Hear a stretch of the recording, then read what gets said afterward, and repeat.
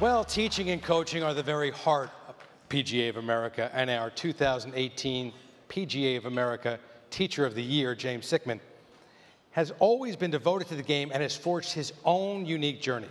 Over the years, James has researched and shaped his own fundamentals and techniques, which have been adopted by a leaderboard of more than 80 tour professionals worldwide and countless amateurs. Let's head to the nation's heartland and discover why you'll want to book a schedule a session in Omaha, Nebraska, and learn from one of golf's truly passionate and inspired teachers.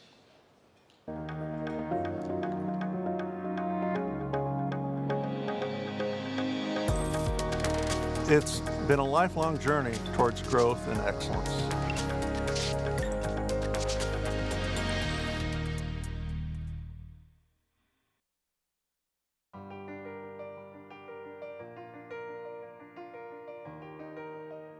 His knowledge is incredible, and his passion, you know, you can't say enough for his passion to teach.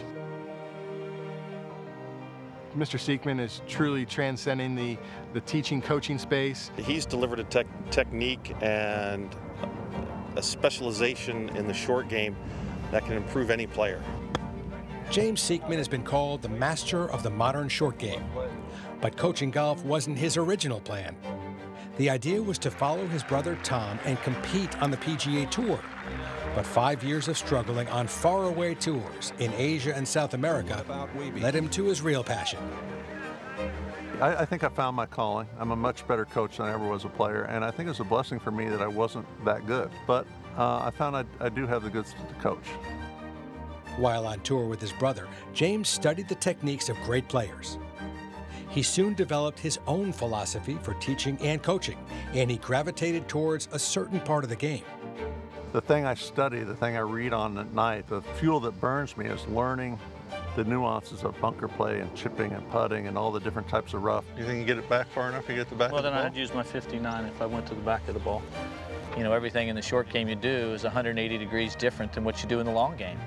And uh, he's, he's, he's stuck with that principle, and it's really helped a lot of people, and his concepts make a big difference. Breaks a lot, too. Yeah, that was good.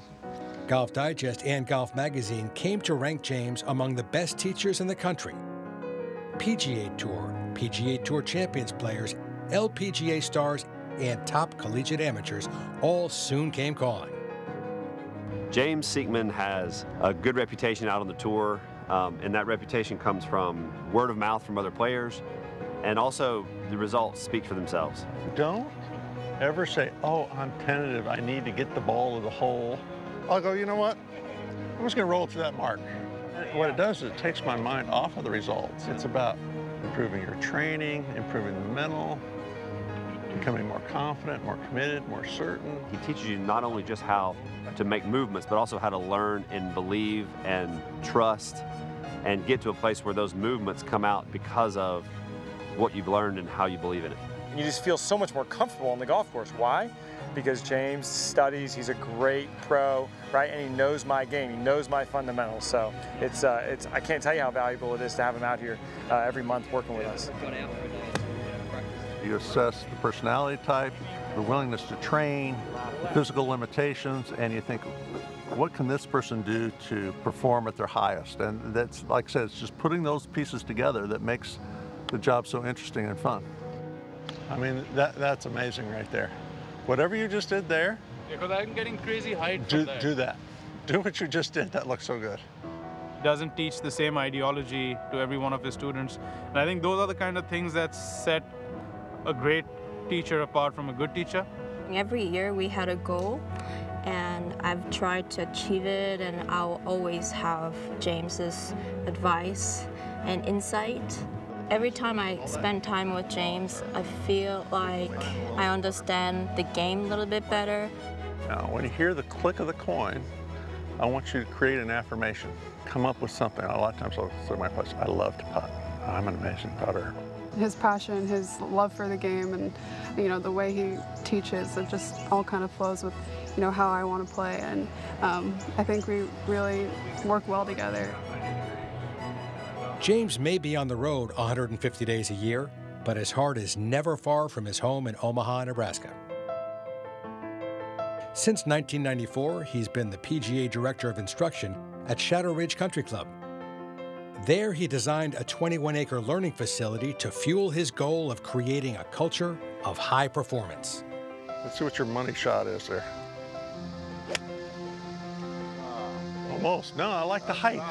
So we know the path was probably pretty good, but I bet the face was close. He's an incredible asset to the club.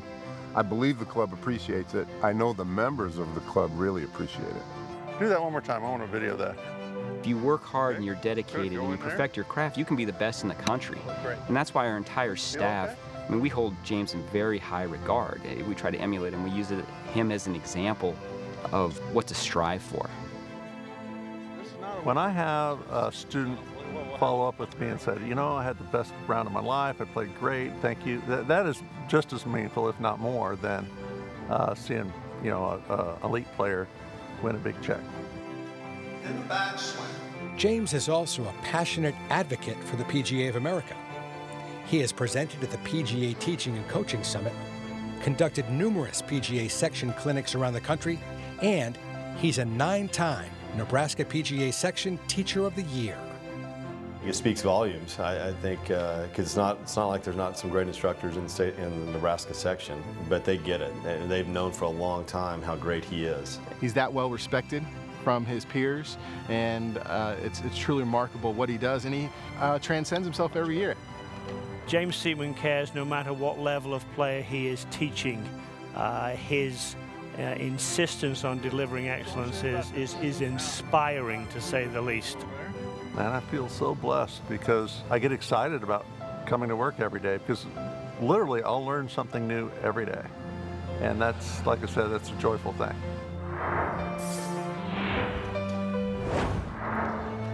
Ladies and gentlemen, PGA member James Sieckmann.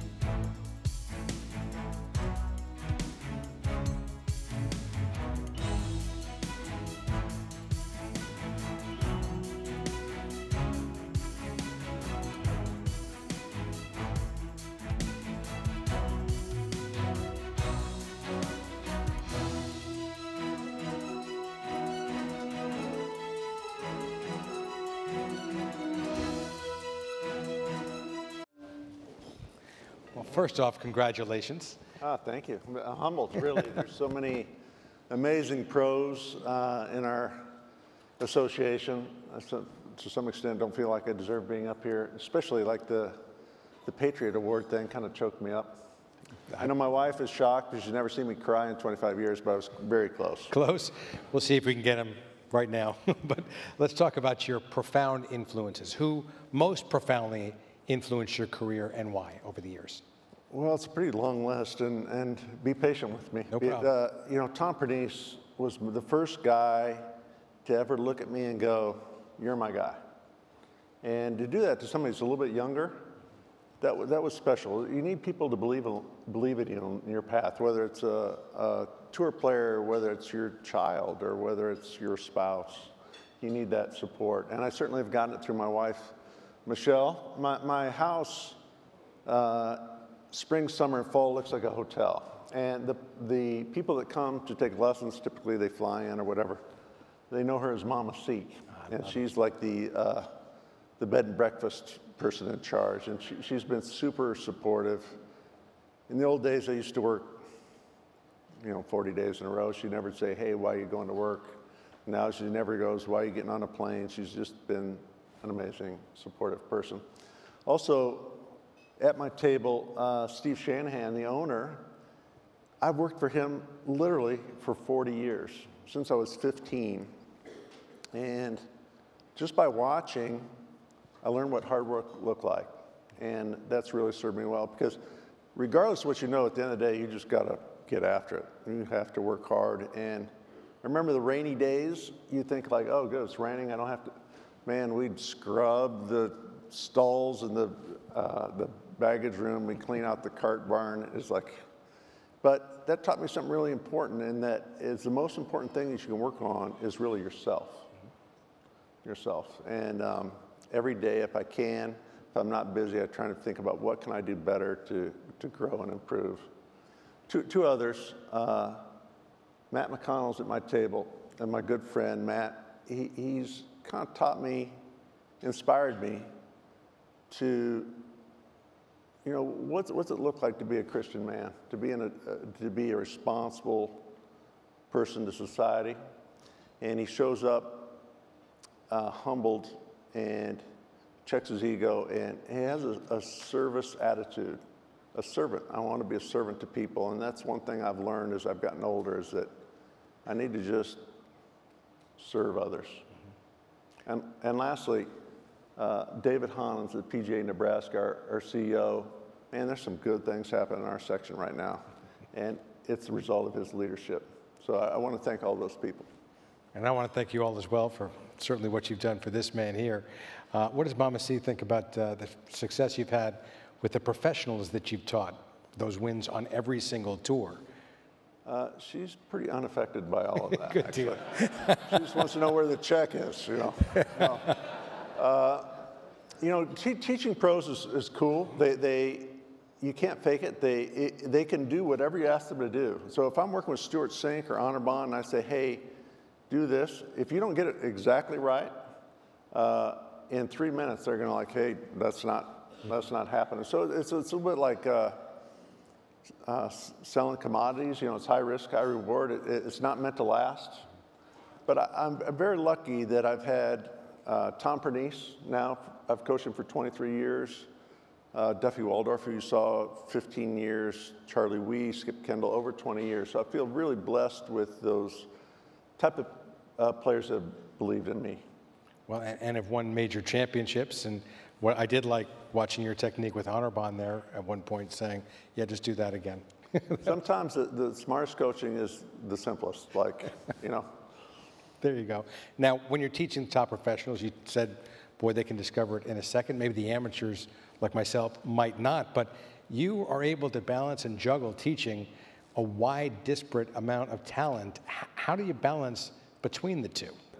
Solid fundamentals, foundational pieces are the same for everybody. What they really need more than anything is uh, a concept of how to learn efficiently. How am I going to train to implement this concept?